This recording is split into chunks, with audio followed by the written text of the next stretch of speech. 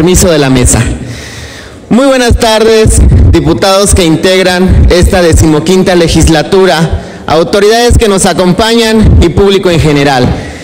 Mi nombre es Cristian Tomás Cervantes Rangel, represento al Distrito 13 y el día de hoy no voy a hablar por mí ni por mis necesidades, voy a hablar por la necesidad del distrito más grande en comunidades rurales.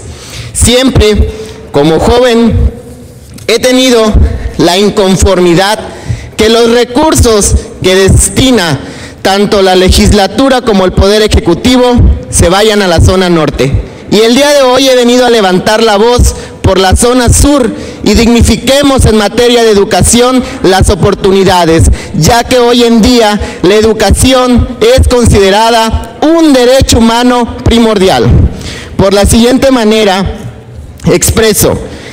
La decimoquinta legislatura del Honorable Congreso del Estado de Quintana Roo, mediante el dictamen emitido en fecha 15 de diciembre del 2017, declara año 2018 como una, por una educación inclusiva en virtud de que nuestro actual gobierno ha, sido prioridad fomentar la educación inclusiva en atención de los alumnos con necesidades educativas especiales, tal y como se contempla dentro del Plan Estatal de Desarrollo en el eje 4, Desarrollo Social y Combate a la Desigualdad.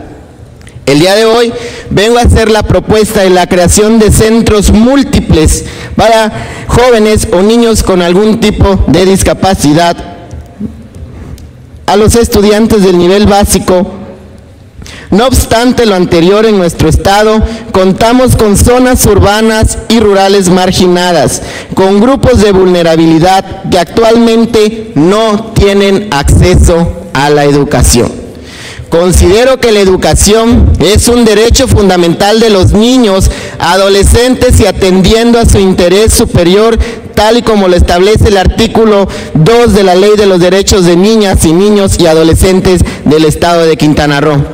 Es importante detonar que la educación inclusiva no únicamente se refiere al derecho a los niños y jóvenes con discapacidad de acceder a una educación especializada, siendo la definición y concepto de educación inclusiva. Un concepto muy extenso que garantiza el, acceso a la educación a todos los niños, adolescentes y jóvenes que cursen el nivel básico y el nivel medio superior, incluyendo a los grupos de vulnerabilidad que se encuentran asentados en las comunidades rurales del Distrito 13 ya que debido a la falta de recursos económicos muchos niños y adolescentes no tienen el acceso a la educación. Todos los niños y adolescentes con discapacidad son desplazados a vivir sin una educación. Debido a la erogación de recursos que significa el traslado a la ciudad de Chetumal o a la cabecera municipal de Bacalar del distrito que yo represento, muchos niños se quedan atrás y se rezagan.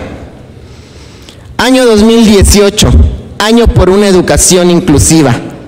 Y que no quede únicamente como una leyenda plasmada y que corresponda oficial de los tres poderes de nuestro Estado, sino que realmente se impulsen y habiliten programas que permitan el acceso a una educación inclusiva con personas con discapacidad en las comunidades rurales de nuestro estado. Porque recuerden que un niño, un maestro, un libro y un lápiz pueden cambiar el mundo.